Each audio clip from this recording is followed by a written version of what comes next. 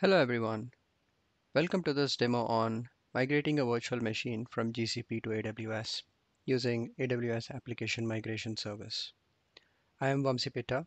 I'm a solutions architect here at AWS. In this video, we'll start with a quick overview of network architecture to understand how AWS MGN works in the background for replicating servers. Then we'll take a quick look at demo uh, itself. It starts by installing a replication agent on a source virtual machine. It could be VMs running in corporate data center or any cloud provider.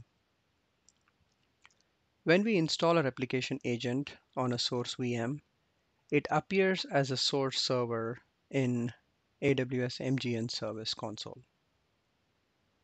MGN Service will create replication servers automatically to constantly replicate source disks from the source VM onto a staging area subnet. It creates equal number of EBS volumes to match with the source disks.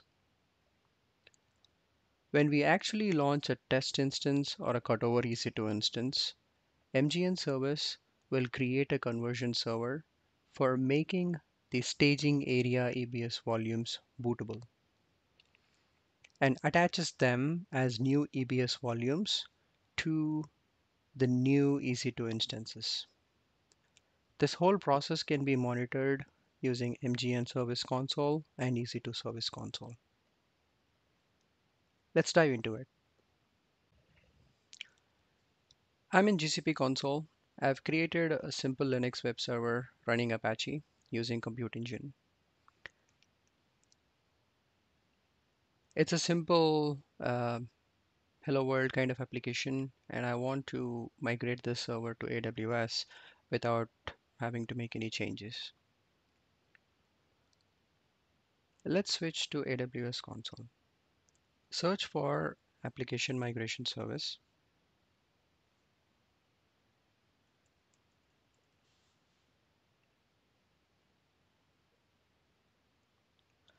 If this is your first time uh, setting up uh, application migration service, you will be asked to configure replication settings and launch settings.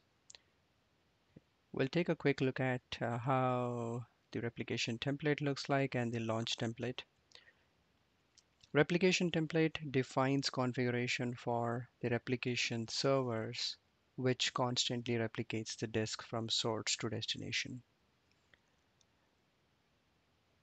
The launch template defines the configuration for test EC2 instances and actual cutover EC2 instances.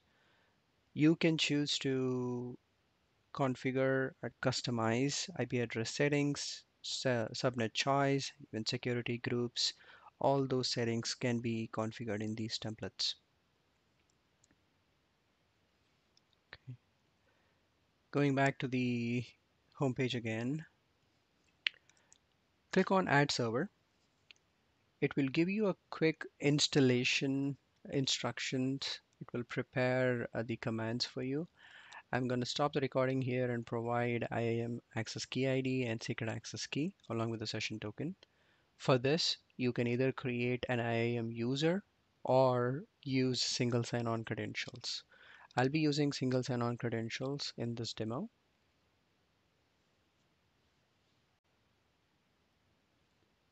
Once we provide the access key ID, secret access key, along with the session token, you can see that a downloader command and uh, the installation command are prepared for you. We can use this as quick getting started guides as uh, in the source server. Okay. Other optional things uh, here are you can choose the operating system and uh, the preferences for replication, whether to replicate all disks or you want to customize the, the disks to be replicated. I'll copy the downloader command. Switching back to GCP console. Let's connect using SSH.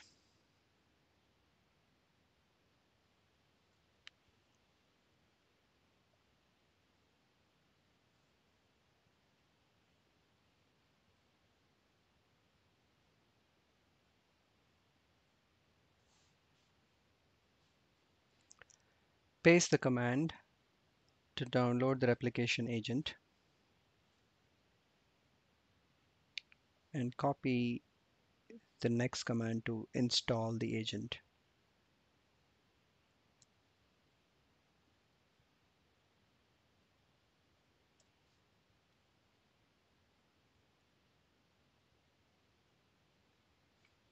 This will take few minutes to identify the volumes attached to the source server and this will show up in the source servers on AWS MGN console.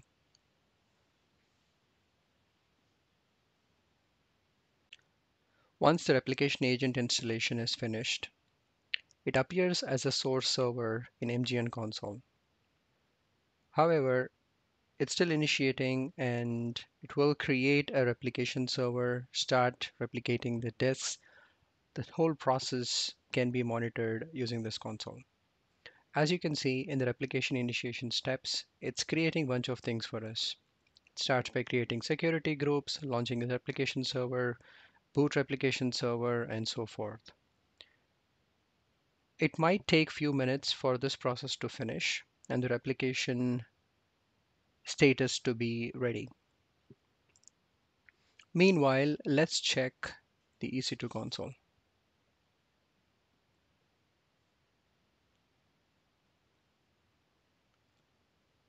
As you can see, a new replication server has been created automatically and this will be used to replicate the source disks.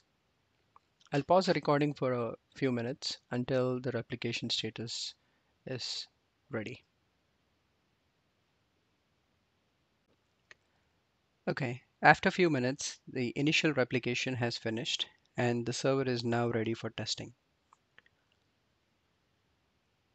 Let's go ahead and launch test instance and we'll come back to understand some of these settings available while this service is launching a test instance.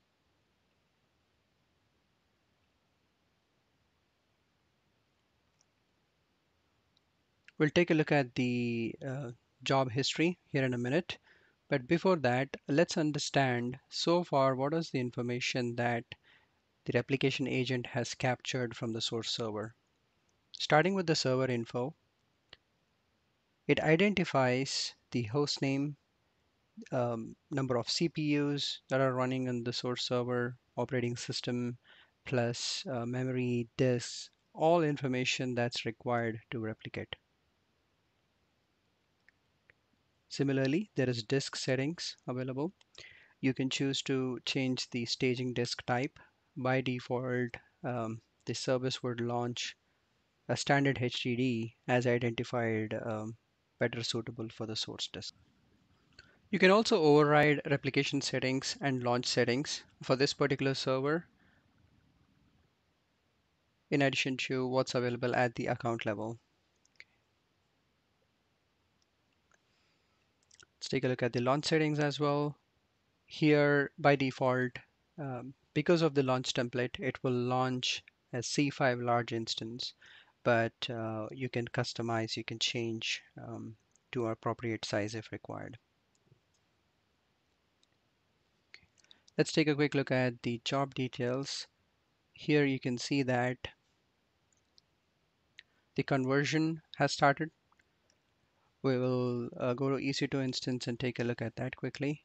But just a quick snapshot.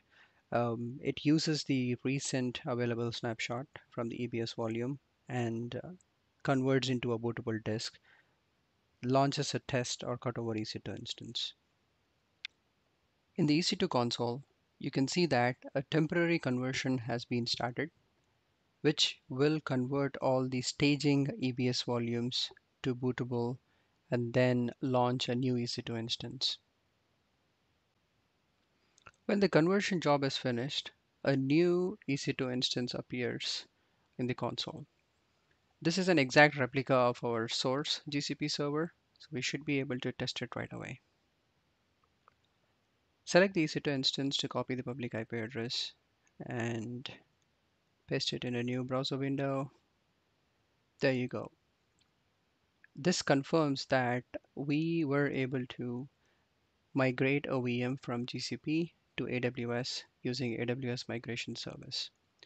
Once the testing is finished, we can go back to the MGN console, click on the source server, and you can mark this server as ready for cutover.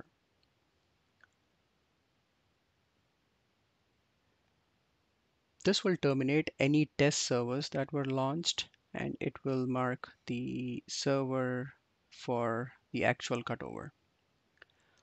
It's important to understand that when you launch a test instance or a cutover instance, the source server and the newly launched servers are no longer in sync. It will use the latest snapshot that's available to spin up a new instance. However, as long as the replication server is active, data is continuously replicated from the source to the staging area. That's all for this demo. I thank you for watching the whole video. Please feel free to leave a comment.